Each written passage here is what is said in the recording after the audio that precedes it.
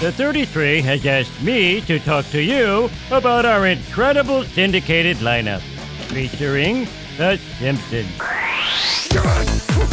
The Simpsons is a crown jewel in a priceless lineup of laughter. The star is a virile sex god named Homer. And never mind that garbage. I don't want to hear about Matlock. Shut up, old man, or the next time you fall into a coma, I'll just let you sleep. Homer, read the script right. Okay, okay. Right after the 33 News is one of the most outlandish, outrageous comedies ever to squeak past the censors. Yes! Yeah! Whoa! Hey, wait a minute. No way am I gonna plug Family Guy. Now you're talking. Let's plug Matlock instead. Oh. Family Guy features a stupid fat guy, a dog that drinks booze, a fat kid, a baby with a football head, a girl that looks like a boy that looks like Moe, and a hot mom. Now stick your finger in there and twist it. And uh, that's it for Family Guy. Following the Griffins, who suck like the Flanderses, is the greatest sitcom ever in the history of history.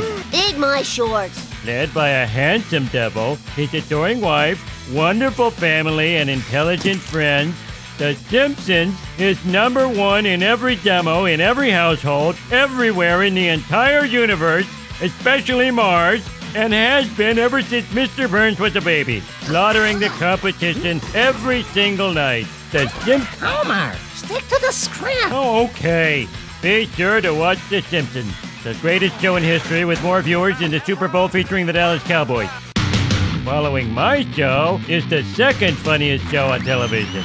Two and a Half Men stars Jon Cryer, another stupid fat kid, and the guy from Platoon and Wall Street. I don't pay you to mock me. Hey, that's not Oliver Stone. It's Charlie Emilio Estevez Sheen, back for another great season of Two and a Half Men. Say what? Ow! Again? Oh, these guys suck. We're up to late fringe, so be nice this time. Oh, all right. Following the 33 News at 9, the Griffins return to kick off the hottest late night lineup in the Metroplex. Oh, who writes this crap? Whatever's happening here, just knock it off. Oh, yeah? Bringing that trash in here. This is my house. You'd like to think so. Why, you little. Homer, stop it. They're arguing with sound bites. The dog started it. Anyway, following Family Guy is the second episode of the highly rated Two and a Half Men. Ah! if you could tone down the narration to a more believable level. Have you ever had something that was so beautiful that everyone wants it? We cap off tonight with a full hour of comedy featuring three dorky guys and three really hot girls. That's the creepiest thing I've ever heard. Two episodes of Friends every weeknight. But the big surprise this year is that just when you think we're winding things down, the party is just getting started with the addition of Entourage.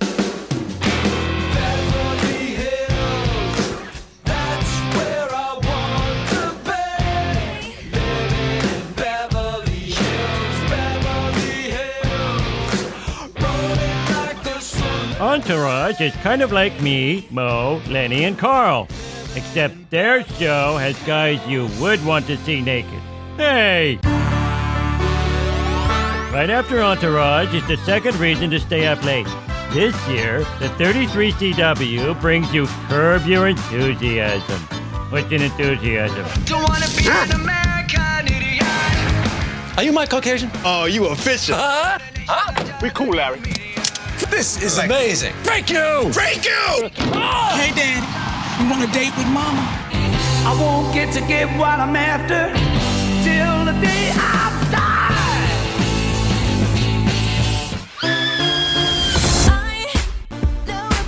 A lot of great comedy, tons of laughs in the afternoon and late night, and two shows to keep people watching well past midnight.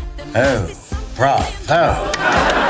And that's why the 33CW is TV to talk about. It would be a lot better if we were TV that talks about Matlock. That does it, Dad. I'm signing you up for the cadaver program.